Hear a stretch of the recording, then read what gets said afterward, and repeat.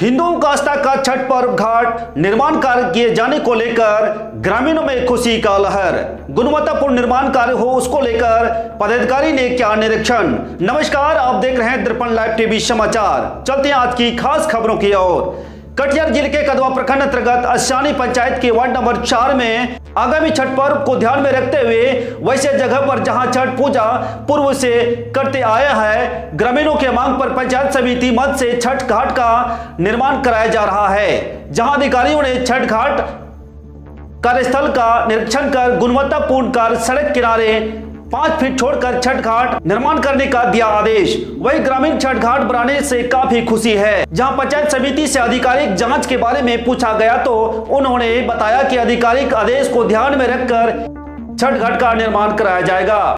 जी हाँ ऐसी social media platform Darpan live TV समाचार के साथ खबरों में बने रहिए और तब तक हमें दीजिए इजाज़त। धन्यवाद।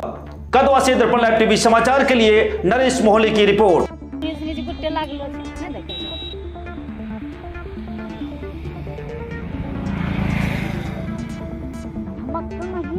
काम करलो छी हल्ला कहीं तो काम बस शिकायत नहीं छै केना करबै ये क्या नाम है?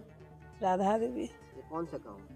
असियानी गाँव है। तो यहाँ पहले छठ घाट नहीं था अभी छठ घाट बन रहा नहीं पहले से है सर। पहले से पक्की जी था? जी हाँ पक्की नहीं था सर कच्ची था। अब पक्की बन रहा बन जी। कितना सहूलियत होगा कितना अच्छा लगेगा? सहूलियत छठ बनेगा तो सर सहूलियत हैबे ना करेगा। पहले कितना दिक्कत होता था? हाँ दिक्कत होता था पहले। अभी किसके फंड से बन रहा कौन बना रहा पता है कुछ?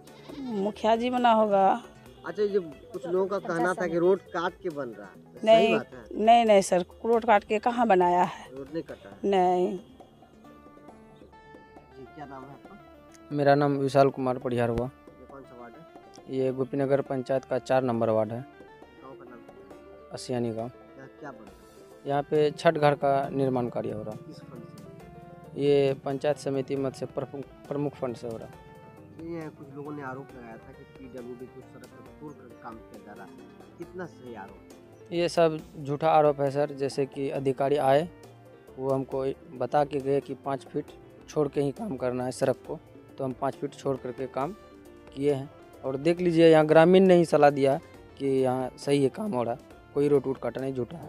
अधिकारी आए आए थे जई सर थे बी सर थे प्रमुख सर थे। जो भी थे और ग्रामीण भी थे यहाँ। जी। बोर्ड नहीं लगा हुआ बोर्ड कल लगेगा सर बोर्ड अभी तक लिखा गया नहीं। बोर्ड नहीं लिखा। जी। लोगों का सरकारी कार्य होते हैं बोर्ड पहले लगाने का नियम है। जी जी नियम है। नहीं लगा है तो कल लग जाएगा। कल लग जाएगा। जी। आपका नाम क्या हुआ? मेरा नाम विशाल कुमार आप परिहार कौन है? मैं पंचायत समिति का पुत्र हूँ। जी। आप ही देख रेख करते हैं। जी।